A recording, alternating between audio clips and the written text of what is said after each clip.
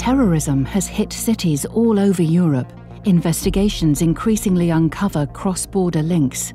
Within days of the Paris and St. Denis attacks in 2015, it became clear that the terrorist network had been operating far beyond French borders.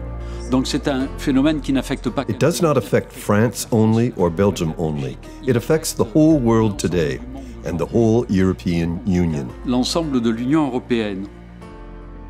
On ne peut plus aujourd'hui se permettre de travailler seul. We cannot work in silos anymore in our respective countries. We have to have an overall approach. Eurojust is the EU hub for judicial cooperation. Based in The Hague, it works closely with European prosecutors to combat terrorism and bring suspects to justice, while respecting victims and their families. This is the excellent added value of Eurojust. It is the capacity to unite different legal authorities which deal with this type of problem.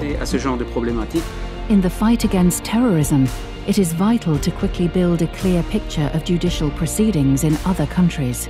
For this reason, Eurojust launches the new counter-terrorism Register, which will help European prosecutors to strengthen and speed up investigations.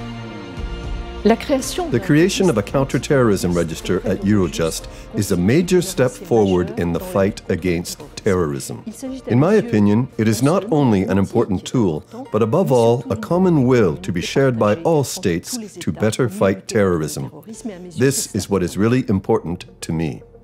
The Counterterrorism Register provides an effective response by improving safety and delivering justice across the EU.